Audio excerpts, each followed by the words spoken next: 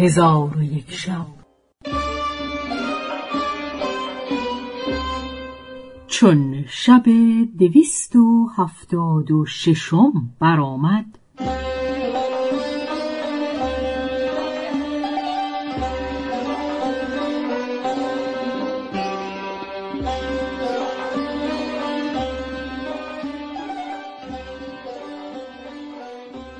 گفت ای ملک جوانبخت عبدالله ابن ابی قلابه گفت ولکن لولو زرد و دگرگون شده بود.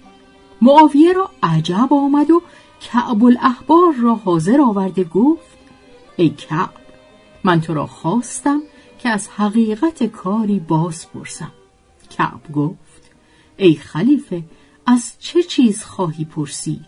معاویه گفت تو را علم هست به اینکه در جهان شهری باشد که از زر و سیمش بنا نهاده باشند و ستونهای او از زبرجد و یاقوت و ریگهای او لولو و خاکش مشک و انبر و زعفران باشد؟ کعب گفت آری ای خلیفه آن شهر ارم ذات الاماد التي لم یخلق مثلها فی البلاد است و او را شداد ابن عاد بنا کرده. معاویه گفت حکایت آن شهر به من حدیث کن.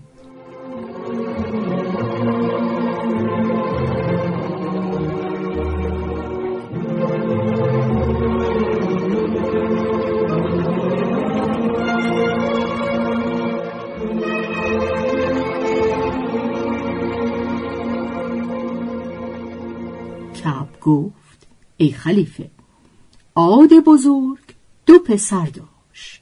یکی شدید و دیگری شداد.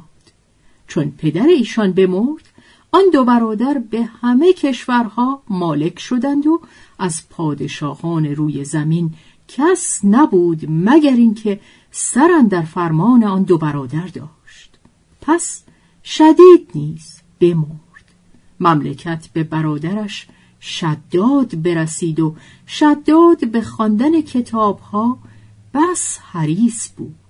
پس چون در کتابها نام آخرت و بهشت و قصرها و غرفه ها و نهرها و درختان و میوه ها که در بهشت هستند بدید نفس او را خواهش این شد که مثل بهشت در دنیا جایی بسازد.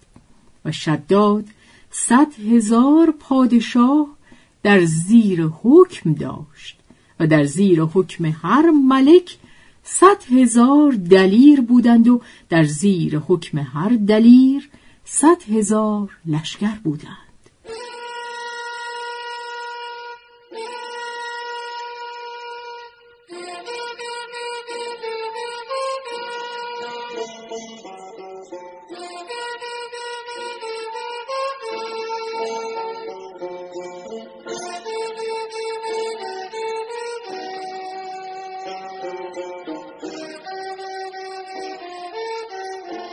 پس شداد جمعی از کارگزاران حاضر آورد و به ایشان گفت در کتابهای قدیم صفت بهشت را که در آخرت وعده کرده اند دیده ام و همی خواهم که در دنیا مثل آن بهشت بهشتی بنا کنم.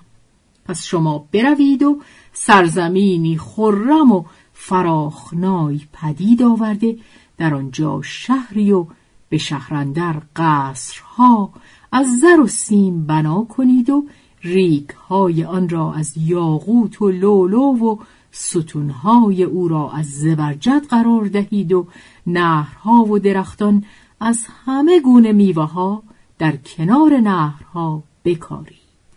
پس ایشان گفتند ما چگونه توانیم شهری بدین صفت که تو گفتی بنا کنیم و بدان سان زبرجد و لولو و یاقوت از کجا پدید آوریم شداد گفت آیا نمی‌دانید که پادشاهان روی زمین در اطاعت من هستند و مخالفت کردن نتوانند؟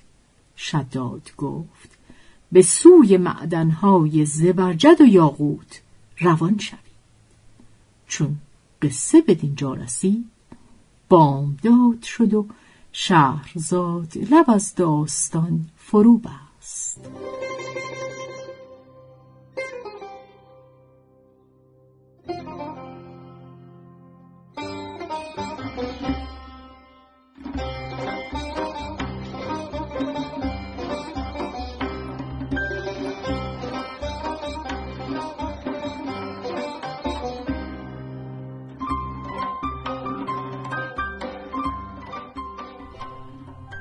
به روایت شهرزاد فتوهی.